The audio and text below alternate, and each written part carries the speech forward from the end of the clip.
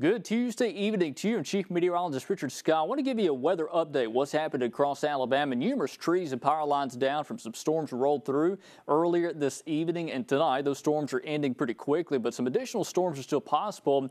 I think overnight tonight and during the day tomorrow for Wednesday. Not going to rain all day, but there will be some storms around. Some of those could pack a punch, becoming strong or possibly severe.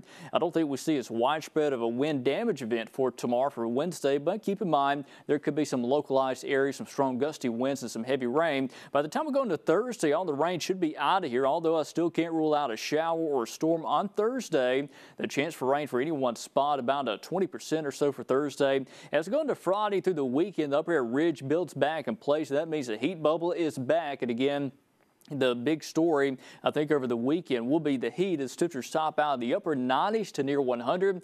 And uh, keep in mind the heat index this weekend will be topping out uh, near 103 to 108. So take it easy if you're going to be working outdoors for Saturday, Sunday, even on Friday. We're talking about some really hot temperatures around here. We wouldn't be surprised to see another heat advisory issue for parts of Alabama as we go into Friday through the weekend. Uh, the story, though, for the weekend, we will be mainly dry.